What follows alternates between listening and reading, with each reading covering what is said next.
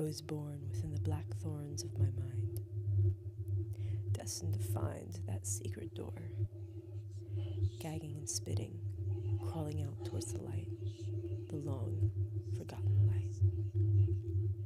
The blood of my veins is sacrifice to cure a wounded world that can only be saved in resurrection of blood and fire. A dying mind filled with worms and decay, staring at an ego so full of rage, asking why, never understanding the glory beyond me. I was born under a creeping light, a sliver of hope no one else could see.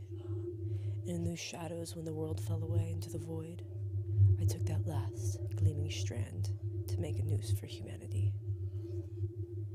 Defy the lies, never I would rather die than play your game. Thus I shall rise like a shadowy phoenix from the ashes, to defy death, to face my immortality, to know there is but one way out. I was born within the black thorns of my mind, destined to find the light everyone thought I ran from, bleeding sorrows over the graves of our ancestors to find the truth hidden in plain sight. I sing to you, dear world. I dance within this chaos to bring about the new age. I would rather die than defy my soul.